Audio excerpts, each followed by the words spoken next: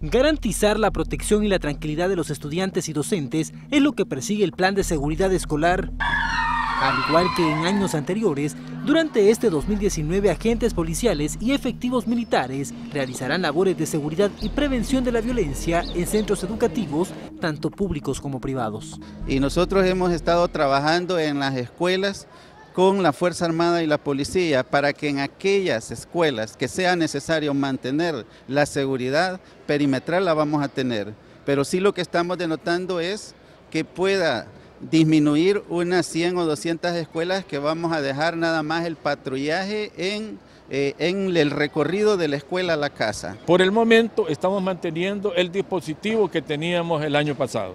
En los últimos años, decenas de estudiantes y docentes han sido asesinados en diferentes puntos del país. Algunos de los crímenes incluso ocurrieron en las cercanías de los centros educativos. Y justamente esa es una realidad que las autoridades buscan evitar durante este 2019.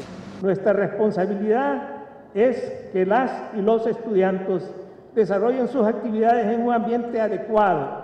Para lograrlo, nuestras instituciones de seguridad trabajarán de forma coordinada en todo el territorio nacional. El gobierno ha detallado que más de 1.500 agentes policiales y otro número de militares brindarán seguridad en los contornos de 1.300 escuelas, principalmente aquellas que están ubicadas en zonas asediadas por grupos de pandillas. Siempre las escuelas tenemos ubicado y mapeado el lugar de donde procede la mayoría de estudiantes que tenemos y Seguridad Pública tiene el mapeo de a dónde están los puntos de mayor incidencia.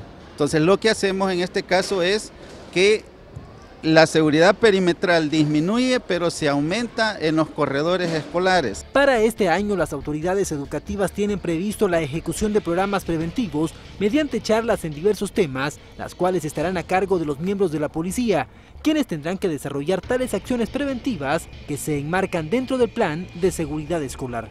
Roberto Cardosa para Tele2.